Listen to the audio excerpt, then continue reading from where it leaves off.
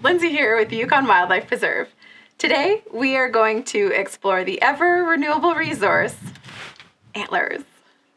Only animals in the deer or cervid family grow antlers. That includes elk, moose, deer, and caribou. Animals like bison, goats, and sheep, they're in a different family and they grow horns, not antlers. We'll tackle that in another video. With the exception of female caribou, only cervid males grow antlers, and they mostly grow these to attract the attention of the females. Antlers are also really important to establish pecking order amongst the males to be able to determine who is going to breed those females.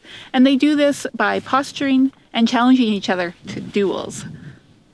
Antlers grow and fall off or shed every year, depending on the species and the individual animal. This can happen anytime between the end of December to April. This leaves a kind of scar on the animal's head called the pedicle. And that's where the antler meets the animal's skull. And from that pedicle, the new antler is going to start growing. As it grows, it is covered in a brown fuzzy material that we call velvet. It's quite soft to the touch.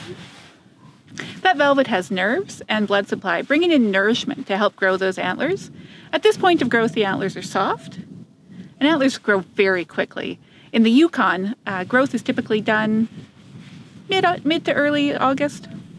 Antlers take an enormous amount of energy to grow and carry around. Ooh, only the healthiest animals will have impressive antlers like this. Once they're done growing and have fully calcified or hardened, the blood supply to the velvet stops and the velvet dies. The animals are going to rub that off on the environment stones, trees, and sometimes it just falls off. Because the nerves also die with the velvet, those antlers no longer have sensation, and the males are now going to use them to challenge other males for the rights to breed the females and hopefully impress some females. As you can see, antlers are an important part of asserting dominance. Female cervids can look at a male's antlers and have insights into their diet, nutrition, overall health, and genetics. Large symmetrical antlers say healthy genetics, and that means healthy babies. A female might be impressed. You grew those antlers in just one season? Or they might not be impressed. Either way, once the breeding season is over, hormonal changes triggered by reduced daylight causes the pedicle to deteriorate, which causes the antlers to break away from that weakened pedicle, and eventually those antlers will fall off and the cycle renews. That was fun.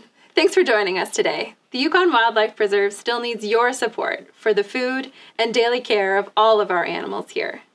You can act now by going to yukonwildlife.ca slash support. Thanks for helping keep Yukon wild at heart.